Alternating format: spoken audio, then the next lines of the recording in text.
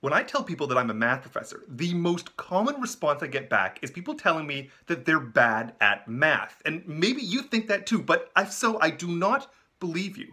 Of all of the thousands of students that I've worked with, I've never met somebody who wasn't able to develop, to grow, to learn as a mathematician, to start taking mathematics and apply it in their lives and their fields, to even get a sense of enjoyment for mathematical puzzles.